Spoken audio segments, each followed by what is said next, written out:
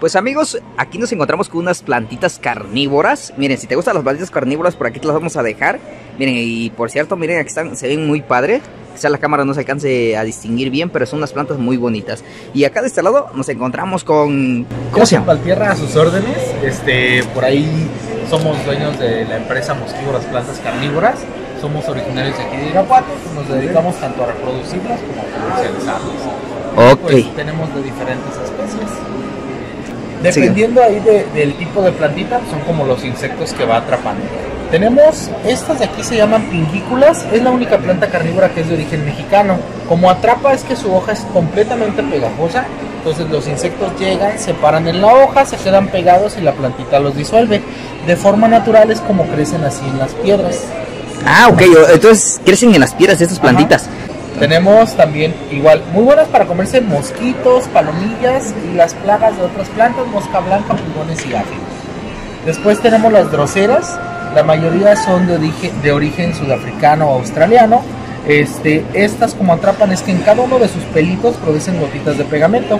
El insecto llega, se para, se queda pegado, la planta se lo empieza a disolver y la capensis tiene la peculiaridad de que se enrolla alrededor del insecto para que no se le escape. Y si te fijas, ahí ese néctar que se alcanza a ver ahí, eso es lo que produce la plantita.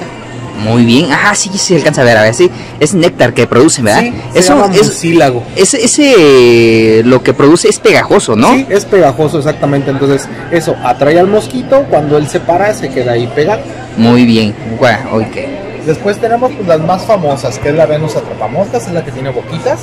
Ahí lo que hace es que produce un néctar dentro de su boca. Y ahí ya cuando el insecto llega, este, tal cual lo que hace es que siente el insecto y ya se cierra. Se y ya cierra. lo atrapa completamente. La planta lo que hace es disolver al insecto las partes blandas y de ahí obtiene los nutrientes. Muy bien. Entonces, ella No- solita va a ir atrapando. Ok, y son estas de esas pequeñitas por acá, de a ver, a ver, puede, puede mostrarnos una, alzarla hacia Claro arriba. Pues miren amigos, cierran las hojitas para comérselas. Para comérselas. Mucha gente ya conoce las, estas plantitas. ¿Cuántos días tarda más o menos para que desintegre un, un insecto Un que agarre? insecto, mira, una mosquita yo creo que como unos 5 días a una semana para que lo desintegre todas las partes blanditas. Muy bien. Más o menos lo que, lo que se tarda. Ok. Después por acá tenemos ya especies un poquito más exóticas. Una de ellas es el Cephalotus follicularis. Esta es una planta jarrón australiana. Igual dentro de su jarroncito produce néctar. Los insectos se meten y se ahogan. Ah, muy bien, se meten adentro Se del... meten dentro del jarroncito. Ah, ok, ok. A ver si me permite tantito. No, no tiene aguates, ¿está? ¿Mande? No es aguatosa, así que los aguatitos. Eh, no. No, ah, ok, miren, ahí está. Ahí llegan, se meten aquí adentro y se quedan atrapados los insectos ahí, ¿verdad? Sí. Muy bien. Tenemos ya después la, digamos, esta es como de sol, esta es su pariente tropical, esta se llama nepentes o plantas jarrón. Dentro de los jarroncitos producen néctar, los insectos se meten y se ahogan allá dentro del jarrón. Que es la planta ya más grande que está en la parte de arriba, ¿verdad? Exactamente, es como esta. Se producen los jarroncitos, los insectos se meten y se ahogan acá dentro del jarroncito. Esa es pariente con la que acabamos de ver ahorita, ¿verdad? ¿Cómo se llaman? Esta es una nepente o planta jarrón. ¿Y la Y pequeñita? esta es una, es un cephalotus follicularis o planta jarrón australiana. Muy bien. Esta digamos que es de tierra y esta crece, es como una enredadera, crece en los árboles. Eh, se parece como un parásito, ¿no? De los Este, árboles. Pues más bien le ayuda a comerse las plagas que se comen al árbol. Se Ah, comen ok. mucho a las hormigas. Bueno, es conocido como un parásito, pero igual ayuda al árbol, ¿no? A- Exactamente. muy bien. Y por acá tenemos las arraseñas. Estas este, lo que hacen es que producen igual néctar en el fondo de su jarrón. Los insectos se meten por aquí por el tubito y se atoran. Ya no pueden regresar. La planta igual disuelve el insecto y a de de lo que se alimentan.